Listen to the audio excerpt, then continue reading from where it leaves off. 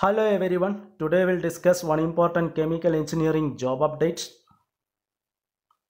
Company name ISRO Liquid Propulsion System Center, Trivandrum, Kerala, India. And the job type apprentices duration 1 year and training location is in Trivandrum.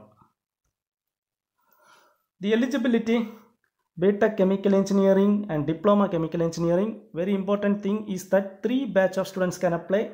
That is passed with the first class during 2019, 2020 and 2021 batch of students can apply. The vacancies for BTech holders one vacancy and diploma holders also one vacancy. Then how to apply? In step 1, NATS portal registration, National Apprenticeship Training Scheme portal registration.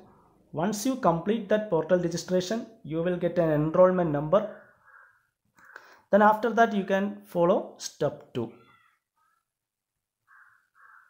In step 2, you can apply the particular post. Those who already registered in NATS portal registration, no need to follow step 1, they can directly follow step 2 the official website I mentioned in the description box.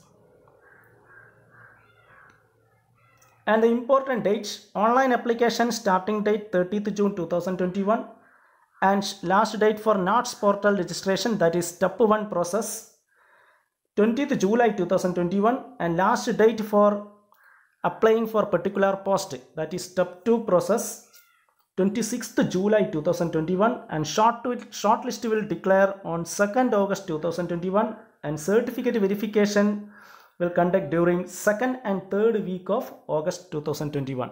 If you have any doubts, please type in comment box. Okay, thank you.